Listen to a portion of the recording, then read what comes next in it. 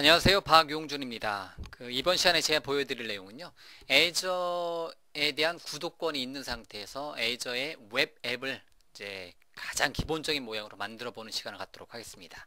자, 여러 가지 단계별로 여러분들한테 보여드릴 텐데요. 자, 웹브라우저 열고 azure.com으로 접속을 합니다. 그러면 뭐 azure.microsoft.com 식으로 접속이 되잖아요. 자, 그럼 포탈 사이트로 접속을 하도록 하겠습니다. 자 그러면 여러분들 이제 그 마이크로소프트 Azure에 대한 구독권이 있는 뭐 예를 들면 여러 가지 정책들이 있겠죠. 여러분들이 직접 돈을 내고 구입을 한다든가 아니면 Azure Pass라든가 또는 Azure에 대한 평가판이라든가 또는 BizSpark, DreamSpark 같은 스파크 정책을 사용한다든가 또는 MSDN subscription을 사용한다든가 자 여러 가지 정책에 따라서 여러분들은 애저에 대한 사용권을 얻었다.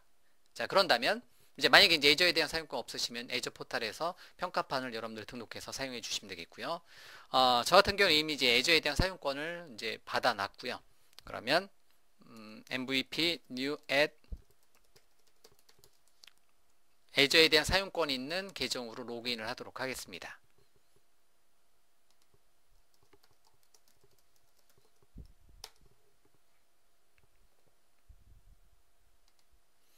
자 그러면 제 이름으로 된 Azure에 대한 사용권으로 접속을 했고요.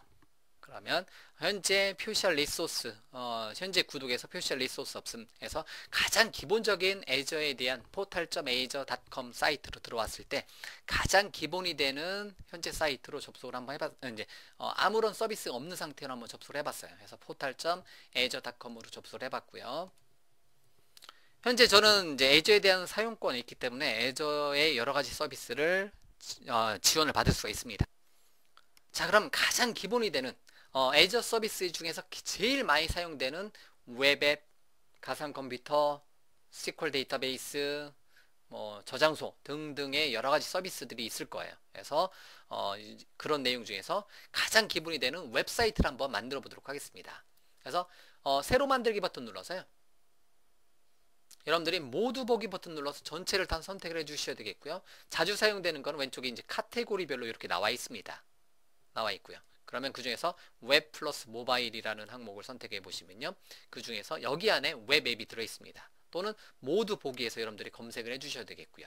그럼 웹 앱은 하나의 웹사이트예요. 하나의 어, 샘플 도메인을 제공해주는 하나의 웹사이트를 만들어 줄 수 있는 거고요. 그 웹사이트를 꾸며주는 거는 여러분들이 뭐 개발 도구를 사용해서 또는 여러분들이 어떤 서비스를 사용해서 만들어 줄 수가 있겠고요. 자 그러면 어 이제 한번 만들어 보도록 하겠습니다. 어제 계정에서 뭐 MVP new 1이라고 한번 만들어 보도록 하겠습니다. 그래서 azurewebsites.net이라는 이름으로 구독권, 어, 리소스 그룹, 그 다음에 앱 서비스 위치 계획에 대해서 여러분들이 뭐, 뭐 이제 새로 만들기 버튼 눌러서 앱 서비스 계획에 대해서 여러분들 하나 이제 만들어 주셔야 되겠고요. 뭐 이제 위치는 뭐 그 이스타시아에다가 가격 정책은 뭐 기본 값으로 두셔도 되고요. 기본 값으로 두셔도 되고요. 가장 기본이 되는 기능으로 사용을 하도록 하겠습니다. 제일 기본이 되는 자, 뭐 여러 가지 이렇게 서비스가 있잖아요. 그 중에서 이렇게 이렇게 뭐 이제 기본적으로 이제 무료 버전도 있네요. 그래서 무료 버전을 선택해서 사용을 해줄 수가 있겠죠. 이렇게 그리고 확인 버튼 눌러서 그 다음에 앱 서비스 계획은 어 그냥 MVP new라고 하도록 하겠습니다. 제 계정 이름으로 그래서 확인 이렇게 하고 나서 만들기 버튼 누르면 하나의 웹 사이트가 만들어져요. MVP new 1이라는 이름으로 azurewebsites.net이라는 이름의 웹사이트 하나 만들어지고요.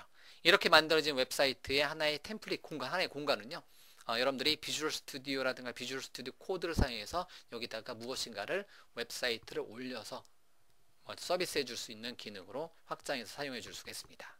자 일단은 어 이제 어 빈 껍데기 웹사이트 한번 만들어 보는 게 요번 첫 번째 짧은 이제 어 소개 강좌의 목표고요. 그러면 이제 웹앱 배포 중이라고 이렇게 뜨고 있네요. 그러면 하나의 웹사이트, 웹 앱이 하나 만들어질 거고요. 어떤 이름으로 만들었어요? 어, 저, 이제 제 계정에 뭐 MVP new 1 at 점 azurewebsites net으로 이렇게 만들어지는 겁니다. 아, 자, 그러면 그럼 웹앱 배포 중이라고 뜨는데요. 잠시만 기다려 주고요. 자, 원래 금방 만들어지는데 여기서는 노출이 좀 늦게 되네요. 배포되는 거. 그러면 제가 직접 도메인에다 한번 쳐, 입력을 한번 해보도록 하겠습니다. MVP new one azurewebsites.net으로 하게 되면 이렇게 어, 웹사이트 하나 만들어졌습니다. 이렇게 만들어지네요. 그러면 현재 이 도메인은 지금 이 순간에 만들어진 거죠. 이렇게 간단하게 하나의 웹사이트를 만들어 줄 수가 있습니다. 이 모양은 좀 늦게 출력이 되네요.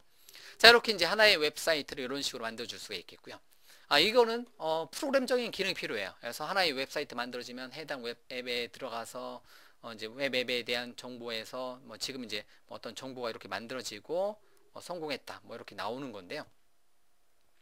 요, 여기서는 이제 아이콘이 이렇게 출력이 되네요.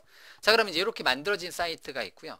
어, 여러분들이 뭐 이제 이렇게 이제 빈 웹사이트를 만드는 게 아니라 어, 이제 정상적으로 만들어져 있네요. 그래서 빈 웹사이트를 만드는 게 아니라 뭐를 통해서 어떤 이제 그 기존에 있던 오픈 소스 예를 들면 뭐 닷넷 기반의 DotNetNuke라든가 PHP 기반의 WordPress WordPress라든가 이러한 이제 기존의 오픈 소스들을 가지고 웹앱을 한꺼번에 만들어 줄 수가 있습니다. 뭐 그런 식으로도 정의를 해줄 수가 있겠고요.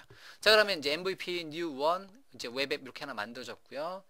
시간이 조금 걸렸네요. 뭐 한 2, 3분 걸린 것 같고요. 그래서 그러면 이제 요 링크를 클릭해서 제가 미리 이제 테스트 해봤는데 링크를 클릭해서 들어가 보면 이렇게 하나의 24시간 360일 돌아가는 하나의 이제 한 줄짜리 뭐 그냥 HTML 문서 하나 요, 요 HTML 문서 하나로만 이루어져 있는 하나의 웹앱이 만들어져 있고요. 이거에 대해서 여러 가지 속성들을 건드려가서 여러분들이 어, 내용을 이제 사용을 해줄 수가 있습니다. 설정이라든가 도구라든가 도구 같은 경우 여러분들이 뭐 이제 바로 이제 요, 요 사이트를 이제 개발을 한다든가 이런 여러 가지 도구들을 사용을 해줄 수가 있습니다.